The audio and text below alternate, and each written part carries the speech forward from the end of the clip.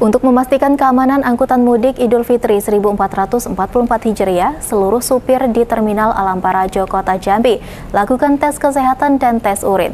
Tidak hanya awak transportasi, kendaraan pun dicek kelayakan demi memastikan keselamatan, keamanan, dan kenyamanan para pemudik hingga sampai tujuan. Di puncak arus mudik kali ini, dalam menyukseskan arus mudik, seluruh awak transportasi melakukan tes kesehatan dan tes urin dan pengawasan narkoba di terminal bus di Jambi.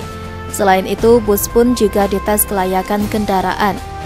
Pada puncak arus mudik Idul Fitri 1444 Hijriah, terdapat belasan supir di Terminal Alam Barajo, ada belasan supir bus lintas provinsi yang mengikuti tes kesehatan dan tes urin serta pemeriksaan narkoba dan sudah dipastikan tidak ditemukan adanya indikasi penyalahgunaan narkoba.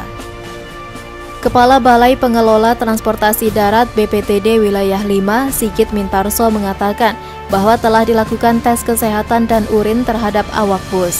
Tidak hanya awak, kendaraan pun dicek kelayakan demi memastikan keamanan dan kenyamanan para pemudik hingga sampai tujuan.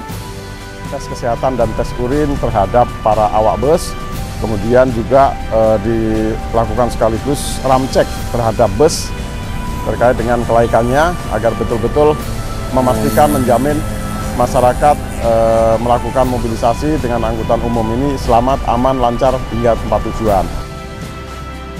Iqbal, Jack TV, melaporkan.